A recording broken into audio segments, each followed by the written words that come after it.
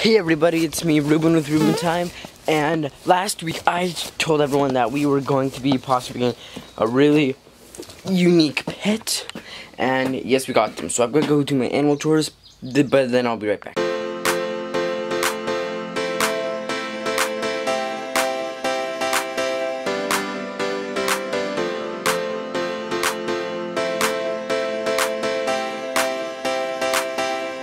Okay, one more thing though. So if you are not subscribed and you don't care to skip over this part, I'll uh, put a timestamp thingy there. And if you aren't, wait for a sec. Okay, are they gone? Good. So if you haven't subscribed and you're still watching this, please go subscribe. And I'm going to um go over some things that I'm doing. So my vlogs have been uh, they've been very difficult and I have been doing them amazingly. So I'm going to be redoing how I do those a bit same time and all that. Uh, with it being spring and with us getting new animals and stuff, I'll be doing a lot more animal filming. And so comment any video ideas or any um, vlog ideas because I can definitely use some help in that area. Like I said, please subscribe and uh, let's go see some birds. Look at those thistles. They're getting enormous. Here they are. Trying to keep it all heated.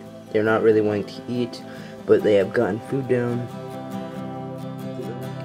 Okay, so I suppose I should tell you why we have them.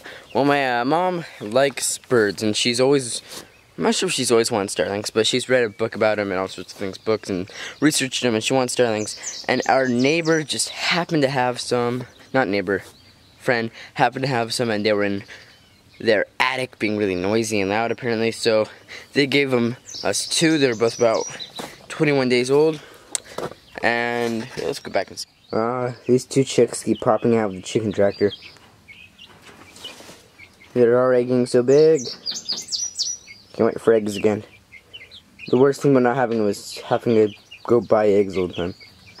Definitely. Also, if you have uh, noticed it sounded a bit weird, I just had to deal with a nosebleed, so yeah. And also, I got my hair cut. I've been eating to for a while, so let's go.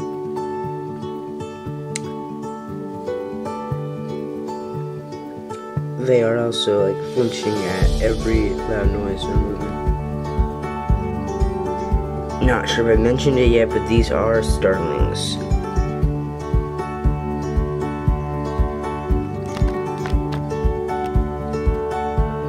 So there you have it. We got starlings. If you want to see more starling updates as they grow older, they one of them has already tried to fly.